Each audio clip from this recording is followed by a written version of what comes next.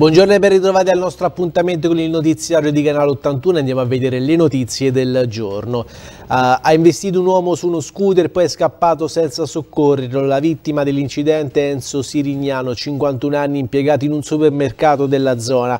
È stato trasportato al Policlinico Umberto I, ma nonostante le cure è morto poco dopo.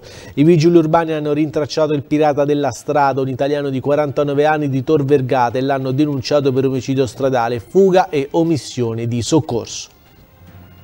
Vediamo ora le notizie da eh, Fiumicino, una valigia con 2000 euro in contanti e una taglia sulla testa per terrorismo islamico. I poliziotti della Digos hanno fermato un uomo ieri mattina prima che prendesse il treno che dall'aeroporto di Fiumicino conduce sino a Roma. Il 32enne originario del Tagikistan era appena sceso da un volo proveniente dall'Olanda.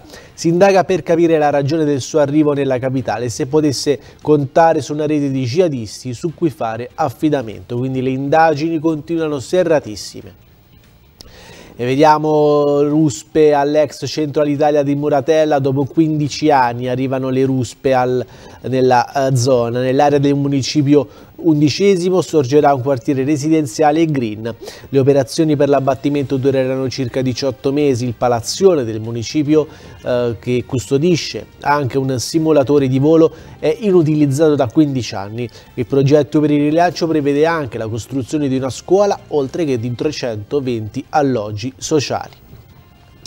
E vediamo la novità in campo di cultura. Tutti i giovani di Roma che sono diventati o diventeranno maggiorenni nel 2024 potranno entrare gratuitamente per un anno nel sistema museale di Roma Capitale.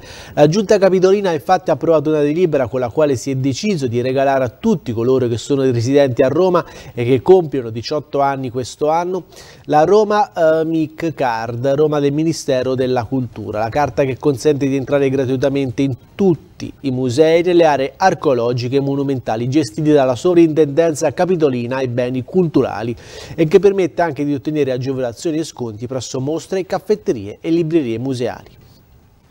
E ora vediamo il grande cinema che da Hollywood all'Italia, a Roma. Un giro per le strade della capitale e qualche photo opportunity con vista sui tetti per l'attrice americana Zendaya a Roma per la prima italiana di Challengers, nuovo film di Luca Guadagnino che la vede protagonista insieme a Josh O'Connor e Mike Feist. E con questa notizia concludiamo il nostro notiziario. Come sempre grazie per essere stati con noi e vi rimando ai prossimi appuntamenti.